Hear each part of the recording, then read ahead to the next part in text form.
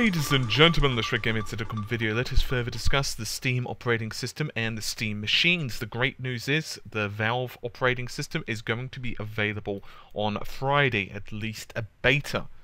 Now, the first prototype Steam machines are already rolling off the production lines, they're already being created, and there's going to be 300 beta testers who are lucky enough to have a copy of the machine. Unfortunately, it is for the United States only. Now, Valve have actually explained this, or should I say, one of the spokespersons at Valve has explained this. His name is Greg Coomer and he has said that it's not actually the original plan and it means they can't collect beta feedback from Steam customers worldwide, which is unfortunate. All things considered, we're sure it's the right decisions because the alternative was to delay the whole beta beyond the point where we'd be able to incorporate any of the feedback into the 2014 products. So, I suppose that's just how it's gone, unfortunately. Um, not much we could say about it. I'm sure Valve have tried their best. Meanwhile, let's actually speak about the Steam operating system. Now, the Steam operating system has, I imagine, been not only in the works for a while, but I imagine that there are multiple reasons that Valve are creating it. Valve have actually mentioned ever since uh, Vista's exclusivity with DX10 uh, the you know they've been increasingly dissatisfied. I'm sorry if I can get the words out with Windows as a whole, and indeed this has actually been culminated in Gabe Newell. Uh, who is, of course, the founder of Valve, actually has called Windows 8 a catastrophe, especially its initial release. So, what they've decided to do is go with an open source GNU slash Linux base and pretty much develop Steam OS as a premise for the living room. Now, obviously, Steam, the base version, already does have the big picture mode. But as I mentioned, it's going to be launched as a beta, the whole full Steam OS, on Friday. Now, the beta and as well as the full version are going to be completely and utterly free. So you don't have to pay a penny for the operating system, which is fantastic if all you're doing is playing games and there has been a comment on this. Steam OS will be available for the prototype hardware ship for when the prototype hardware ships.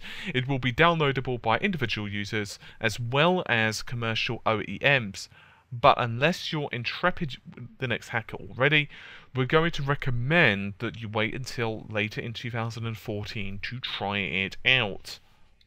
So this obviously means that right now the operating system is fairly raw, a lot of the features haven't been implemented, therefore you're probably going to have to use quite a few command lines and therefore it's not going to be good for a lot of users who aren't that familiar with the um, Linux workflow. Let's use that. Now, I personally am going to be trying it out most likely on a VirtualBox in the next couple of days when it's available, so you guys can check that out if you don't fancy downloading a large um, file. So I'll, of course, record that and uh, let you guys have a look. I'll play around with it a little bit.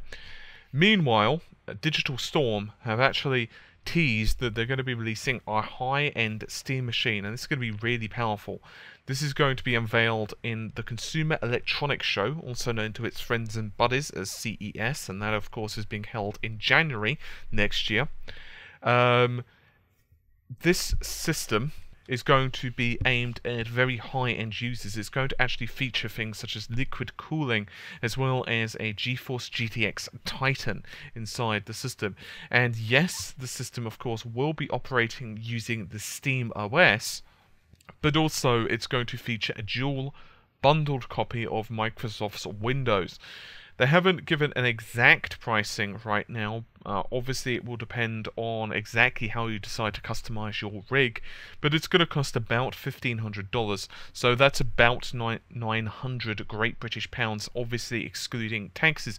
Once again, I'd just like to reiterate that that is one of the highest end machines, and that's obviously targeted at people who wa want to run games at 1080p or higher with ludicrous frame rates. So, where does this actually leave us in terms of PC gaming? Well, not that much is going to be changing for a while.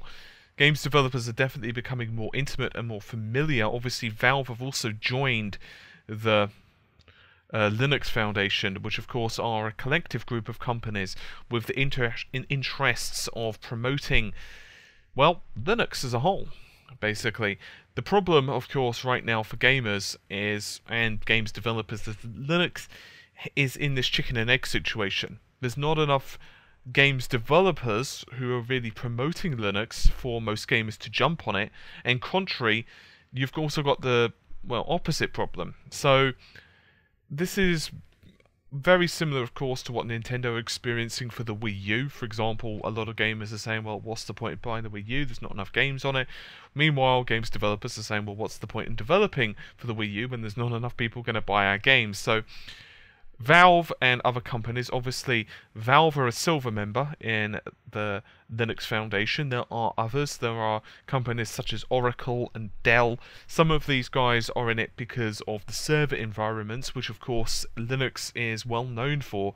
Uh, that's not to say that Linux is exclusive in servers. Obviously, um, Microsoft really push Azure as well as their own Windows-based technologies. You can certainly get Linux on servers with Azure, but um, Microsoft do push uh, their Windows-based 2012 servers, for example. But Linux is slowly starting to get a foothold, so I guess we're just going to have to see how uh, complete the beta version of the Steam OS is.